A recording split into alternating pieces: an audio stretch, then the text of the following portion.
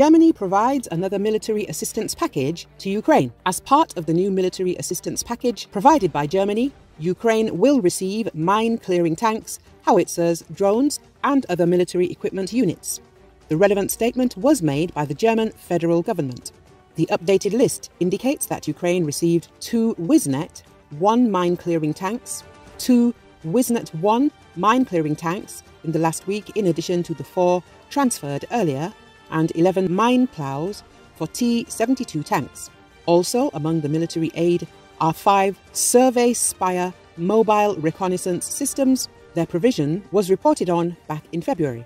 Three vector reconnaissance drones, five mobile antenna mast systems, and nine vehicles for border protection.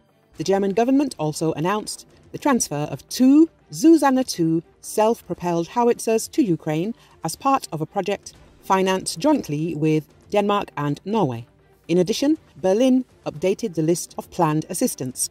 Among them are 40 Marder infantry fighting vehicles, six more Berge Panzer II armoured recovery and evacuation vehicles, seven mobile, remote controlled and protected demining complexes, five mobile survey spire reconnaissance systems, and another 18,000 portable anti tank missile complexes.